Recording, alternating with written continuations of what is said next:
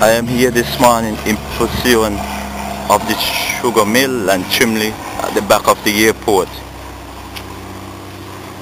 Every time I'm in a vehicle driving around the countryside, I always look to see if I see a ruined sugar mill or chimney that I could capture it because it seems as if very soon we don't have we will not be seeing those kind of stuff so I just building up my archive. That I may able to help someone school child or an adult.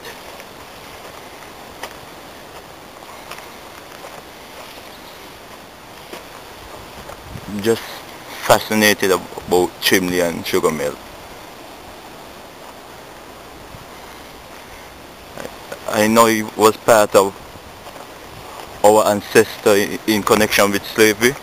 But I, I don't think that we should just go and destroy them. Our ancestors worked hard to do these mills and chimney. I think we should preserve them.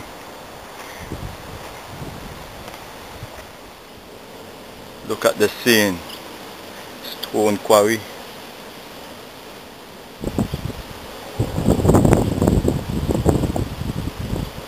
Underwood it possesses of my chimney and sugar mill.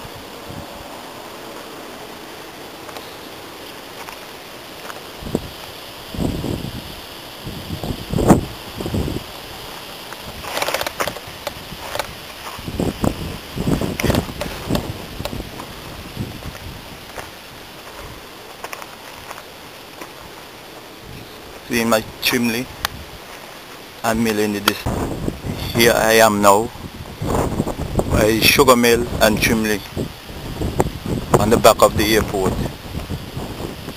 From the main road you can just see a chimney but is now I got here the sugar mill and a chimney